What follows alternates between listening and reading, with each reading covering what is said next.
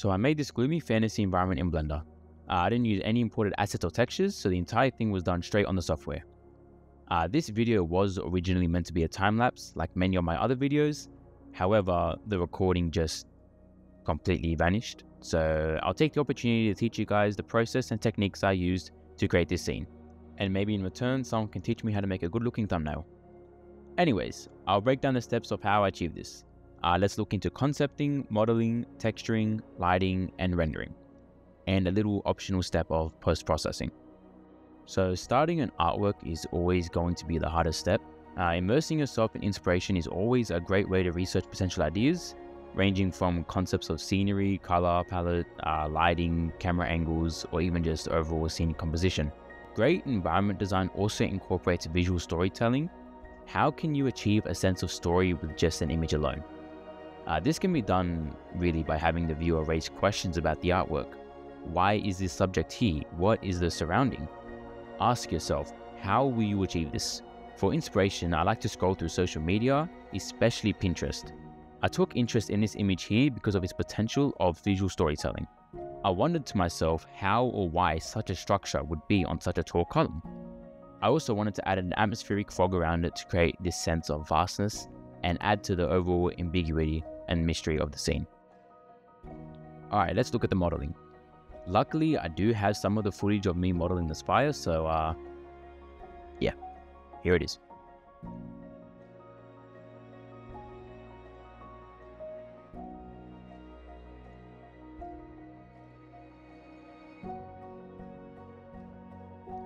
I joined multiple cubes together in a column-like shape and using the subdivision and remesh modifiers, I achieved this sort of unique rock structure effect.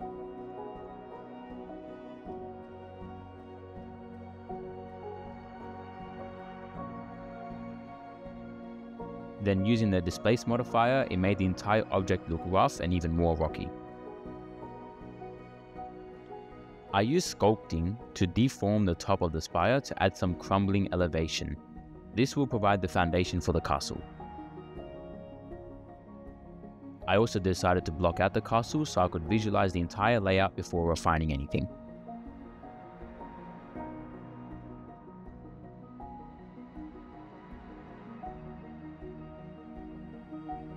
I stuck mostly to the reference for the castle, however I wanted to add more of a gothic style with these metal spikes on the rooftop.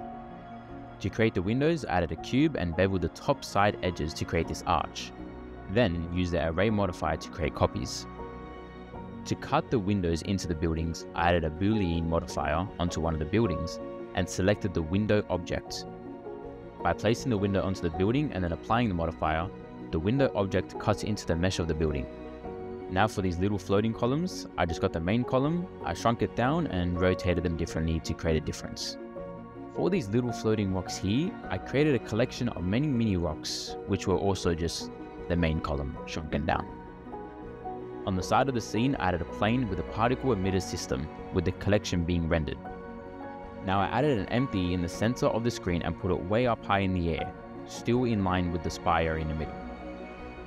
Back in the particle system settings on the plane, go down to physics, Boid Brain, and only have follow leader. A slot will come up here, so just select the empty that is at the top of the scene. Now if you play the animation, all the particles will emit and head straight towards the empty, and you can adjust the emission settings to your liking. Now we want these rocks to spiral upwards around the column rather than just head straight up. And this can be done by placing a vortex force field at the center of the spire which will affect the particle's movement. You may have to adjust the strength and inflow of the force field, where in my case I just had to slightly decrease the inflow into a negative value. Now for texturing. Uh, in my last video, I stressed that you should not be afraid to use existing photorealistic textures from texture libraries. Uh, in this scene specifically, I actually didn't use such textures, but instead created very simple ones of my own. Uh, I did this because I couldn't find a rock texture that suited well for such a large scale of objects, which caused an awkward repeating pattern. Since I planned for my scene to be dark and foggy, details of a photorealistic render may not be very visible in this case, so I opted to just create my own in the shader editor. I mixed a few noise texture nodes together with different colors and sizes to create some variation, and I also added a bump node to enhance the rocky texture. Alright, to prepare for lighting, I'm going to add a large cube over the entire scene. Now in shading, add a volume scatter node. So this will be our fog, and as you can see, there are a few different phases to choose from. For imitating fog, mist or clouds, set it to Mie. To add a unique God Ray effect, add a large plane over the entire scene with a noise texture and color ramp plugged into the alpha. This creates invisible spots through the plane which will come in handy for the lighting setup.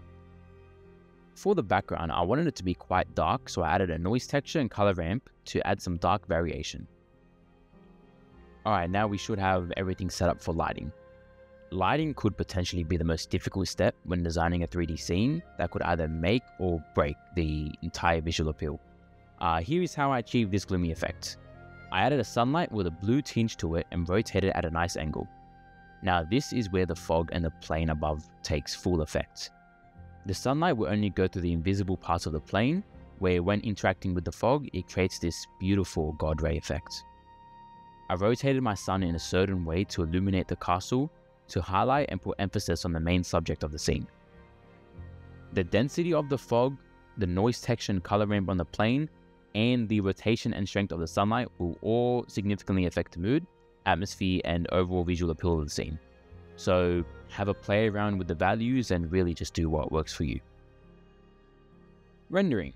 Uh, there are many render settings in Blender that you can adjust to decrease render time, just know that a decreased render time tends to lead to a low quality render. This isn't necessarily a bad thing as depending on the simplicity of your scene, some render settings simply don't have to be as high. I wanted to keep my render settings still fairly high so I could capture the details of the scene. Here are the settings that you should mainly focus on. It's recommended to switch CPU to GPU here because the GPU tends to handle rendering better. Now, the max samples is the maximum number of times the rendering engine will calculate light rays per pixel. In simple terms, the lower the value, the less clarified and potentially hazy the render may be. Volumetric lighting also has much better results with the high values, so just keep that in note. You can keep the samples to the default 4096, however a value of 1024 or even 512 can suffice. The max bounces under light paths is the amount of times light will bounce between objects. In simple terms, the higher the value, the more realistic and overall better quality the lighting and atmosphere will be. I wanted to achieve very beautiful realistic lighting with the God Ray effects, so I had my values at 8 in total and 5 in diffuse, glossy and transmission. To be totally honest, this was definitely overkill, as high values are only necessary for renders that are compacted with detailed models and textures, with multiple lighting sources. Uh, my render was fairly simple in this sense, so much lower values would work just as fine. Now under performance, it's also good to lower the tile size to 256, which breaks up the render into sections rather than stressing out your computer by trying to render the entire thing at once. An extra step you could do which isn't entirely necessary but does certainly improve the render is some post-processing. This can be done in the compositing tab or on other softwares such as Photoshop and Lightroom. On pretty much all of my renders, I always use a glare node to add a nice glow effect, and I also then take my render into Adobe Lightroom as it's simple to navigate and overall easy to use.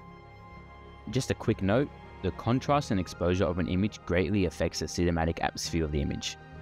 I also like to add vignettes and film grain to enhance the aesthetic. Many of the lighting and coloring values require a lot of meddling with to get a nice image that you're happy with. So with my post-processing, here is the before and the after. It's a slight change, but a positive change for sure. And that's pretty much everything. Uh, I used fairly simple principles of scene composition, texturing, and lighting, where once you practice them more, you can apply them to essentially any render you wish. It's certainly taken me quite the journey to experiment a lot with techniques like volumetric lighting and particle emitters, so really my only advice to you is practice. Find something you want to focus on and try it multiple times until it looks right. In many of my videos, it looks like I have this clear picture in my head which I achieve instantly, but the truth is there is so much footage I have to cut out because I spend way too much time playing around with the way something looks, only to then completely get rid of it and start over uh, don't expect instant results because it really is just a journey of trial and error. and most importantly, what we learn from it. I hope this breakdown really has helped you out and given you further insight into achieving such simple yet appealing renders. Uh, feel free to ask questions or any other further comments.